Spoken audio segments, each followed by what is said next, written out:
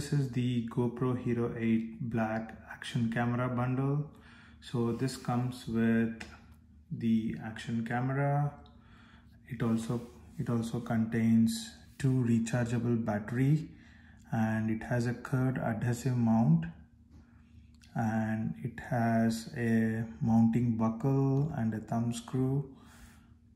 It also comes with a 32 GB um, memory card and this is the GoPro handler. You can pretty much use it for every shooting. And this comes in handy more for a underwater action.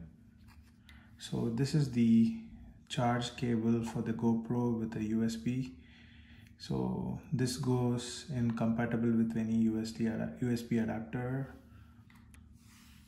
so in the GoPro 8 you have the battery compartment here. So you just have to pull this in and you see a red indication. After you see that just flap it open to open the compartment.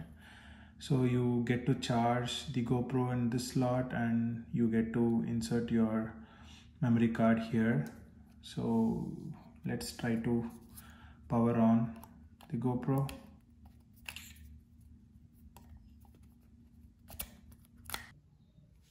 So in the same compartment, uh, you have to insert the memory card facing this way into the slot and then give it a slight push.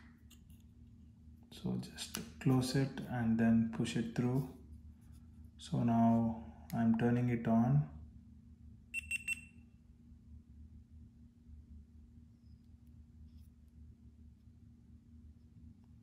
so it's it would be pretty handy if you could install the GoPro app prior to unbox. So first you need to set up the GoPro connect to your phone app and try to update your firmware to get the best use of all the latest settings. So I'm selecting the language to be English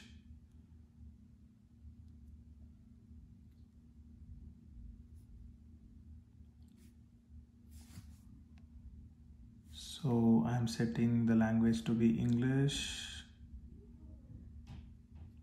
And so it asks if you want to turn on the GPS I would say no. The reason being it consumes more of your battery. So here it gives a clear instructions on installing the GoPro app on your phone.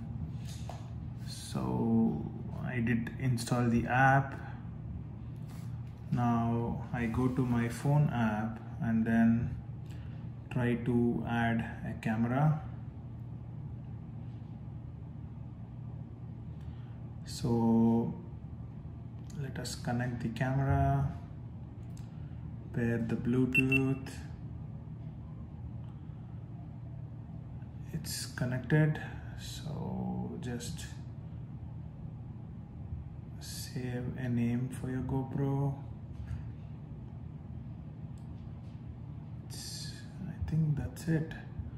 Now your GoPro is paired to your camera. So once you link your GoPro app to your GoPro so it asks for an automatic date and time update. So when you select GoPro app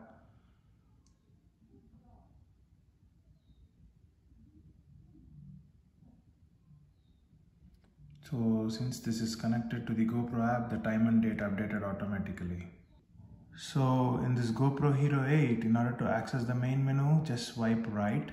So it has basically three modes, time lapse, video and photo mode. Let's look at it one by one. So when you go to the time lapse mode, you have three presets that are there already. One is the time warp, time lapse and night lapse. The time warp is mostly used for moving uh, moving subjects while the time lapse is used for like the stationary scenes. So usually the time lapse photography is used to capture very slow movements to accelerate their progress in the videos. such as uh, sunrise or growth of plants. Um, whereas the time warp is perfect for shooting moving objects. So the night lapse is same as the time lapse, but it's used for night scenes. So uh, in the video mode, uh, you can see different icons.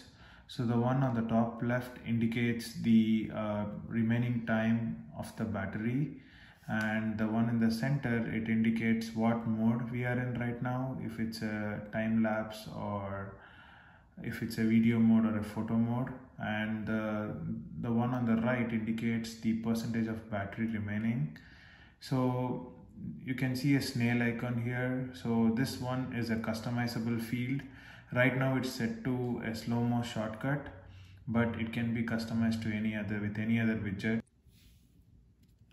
So the icon below the snail icon here gives a, a lens perspective. So there are four settings, narrow, you have linear, you have wide and then you have a super view.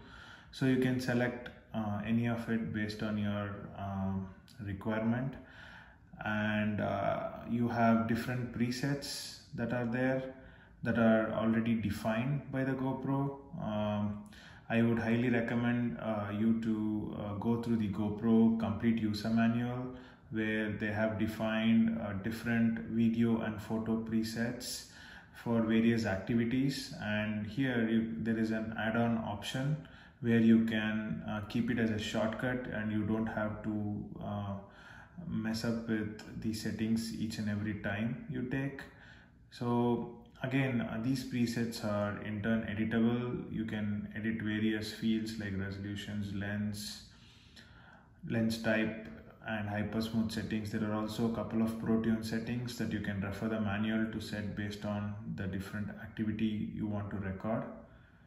So this is pretty much the video and next would be the photo.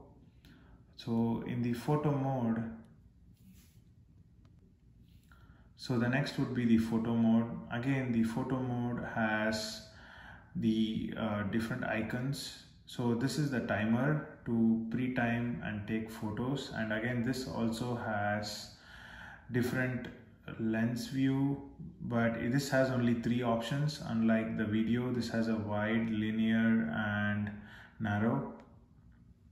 And then you also have different um, quality of photos that you can choose super photo hdr raw format and standard uh, use raw format if you are planning to do a post processing of the photo or else you can choose standard for um, to capture photos with subjects or use hdr or super photo option to basically capture scenery or any nature photography. And again for the photo there are different presets. Um, right now there are only four uh, photo live burst burst and then you have the fourth one as night. So again each of these presets are editable uh, and you can adjust the different settings by referring the user manual as I mentioned before. So that would complete the photo mode for you guys so guys, this is the unboxing video for the GoPro Hero 8. Hope you guys enjoyed. Um, let me know in comments um, if you have any questions. Thank you.